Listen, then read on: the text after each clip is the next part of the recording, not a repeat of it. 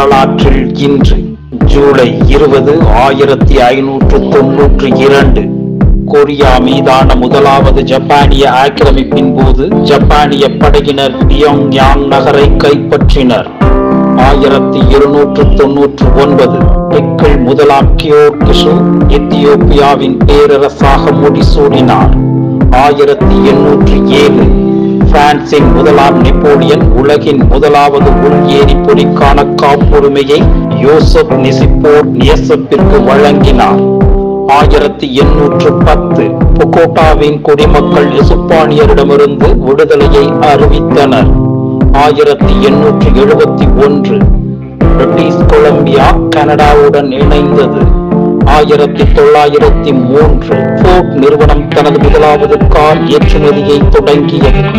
ஆயிரத்தி தொள்ளாயிரத்தி பதினேழு இகோஸ்லோவேகியா ராஜ்யத்தை உருவாக்கும் உடன்பாடு செர்பிய ராஜ்யத்துக்கும் இகோஸ்லாவ் குழுவிற்கும் இடையில் எட்டப்பட்டது.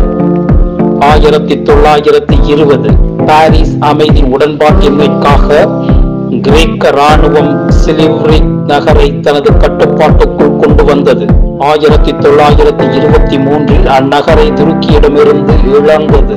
ஆயிரத்தி தொள்ளாயிரத்தி இருபத்தி இரண்டு உலக நாடுகள் சங்கம் ஆப்பிரிக்காவில் பூகோளாந்தை பிரான்சுக்கும் தங்கனிக்காவை ஐக்கிய ராஜ்யத்துக்கும் வழங்கியது. ஆயிரத்தி தொள்ளாயிரத்தி முப்பத்தி ரெண்டு புருஷிய ராணுவ புரட்சியை அடுத்து ஜெர்மானிய அரசு தலைவர் புருஷிய அரசை கலைத்தார்.